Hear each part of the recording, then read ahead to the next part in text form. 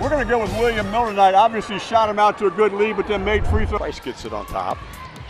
Lost the basketball, stripped from behind. This is Miller in transition. And Miller goes right to the rim and has points three and four. Where's number three for the big green? There's a deep three, Miller. He's got nine of those on the season now. U team already five turnovers here in the first quarter. But that move by Miller and it rolls in. Going with the conservative WOSN shirt look. There's a steal. Schlagbaum's going to throw it ahead, and basket Miller. He's got 11 in the opening quarter.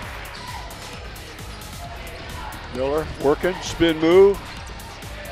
Gets his own rebound and scores. Wow, what a play there by Will Miller. He's going to go up from 12 feet. I think right now you would call it William Miller's opening half. He's got 15.